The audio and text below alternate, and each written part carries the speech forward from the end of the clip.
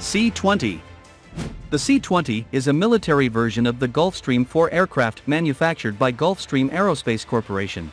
The C-20 aircraft are capable of all-weather, long-range, high-speed, non-stop transoceanic flights.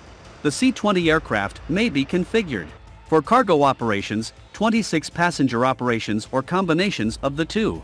With passenger seats removed, it may be configured as 3 pallets with no passengers or 2 pallets and 8 passengers or 1 pallet and 14 passengers. With full seating, the aircraft is capable of accommodating up to 26 passengers and a crew of 4. A hydraulically operated cargo door is installed on the starboard side of the aircraft, and a ball roller cargo floor is capable of accommodating palletized cargo.